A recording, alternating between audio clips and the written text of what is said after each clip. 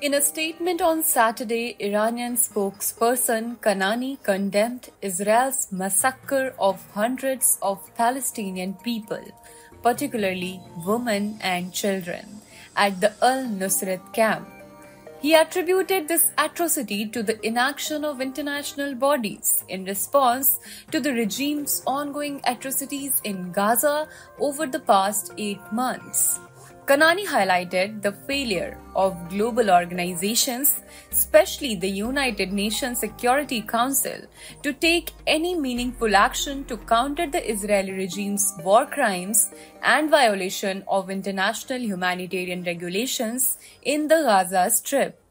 He lashed out at the US and European states for supplying Israel with bombs and missiles and for supporting the regime's crimes.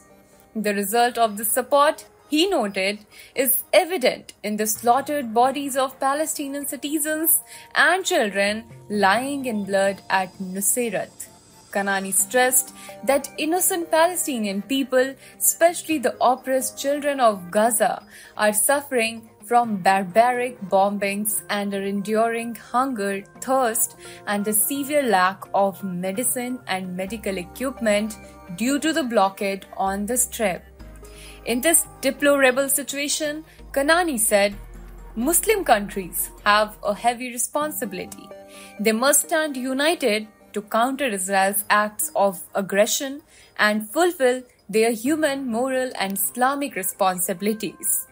On Saturday, Israeli forces killed at least 210 Palestinians and injured over 400 during airstrikes at the Nuseirat refugee camp and surrounding areas in Gaza to retrieve hostages from Hamas since the war began on October 7, 2023, following a retaliatory operations by Gaza's resistance movements, at least 36,801 Palestinians, mostly children and women, have been killed and 83,680 people wounded.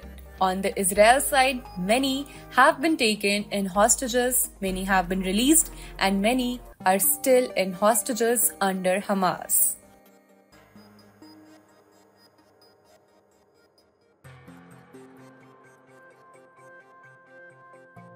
Subscribe to One India channel and never miss an update.